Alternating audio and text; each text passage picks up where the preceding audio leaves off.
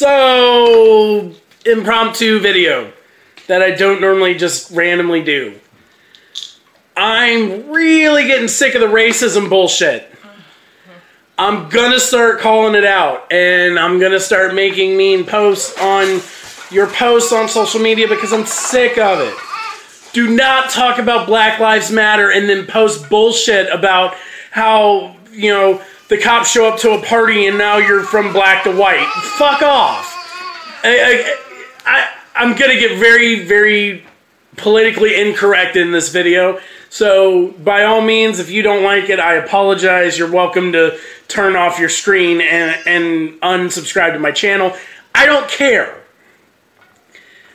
You don't get to take knees in football stadiums, and you don't get to bash white people and uh, Mexican people and any other ethnic background and then be a complete hypocrite on social media. You don't get to do that. I don't give a crap if you're an American. I don't care if you're not an American. I don't care if you're legal. I don't care if you're not legal. I, I don't care about any of that. I'm simply telling you, as my constitutional right, I'm going to go ahead and vocalize that it's stupid.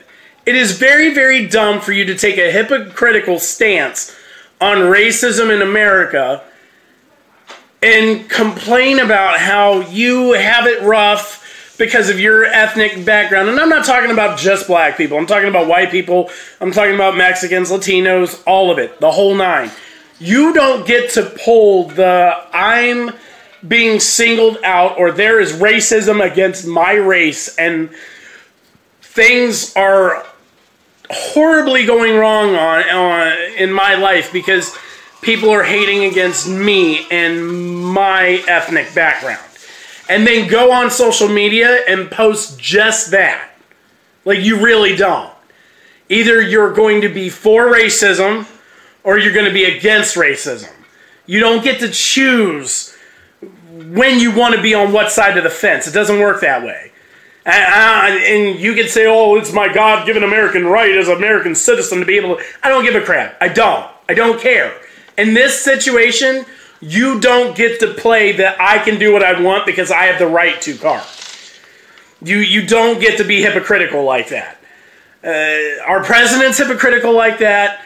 Uh, your mom and dad could be hypocritical like that because they grew up in that bullshit, and, and that's fine, whatever. I'm not trying to hate on generations or anything like that. I am simply saying, though, you don't get the right to talk about how your ethnic background has hindered you in life or whatever, and then go on social media or any other platform for that matter. I don't care if you're protesting, if you're on Facebook, Instagram, Twitter, I don't care. I don't care where it's coming from.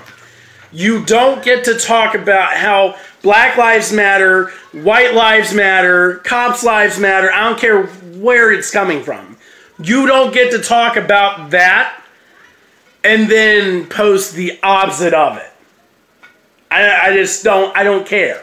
You don't get to do that. And if you are doing that, you're a hypocritical loser.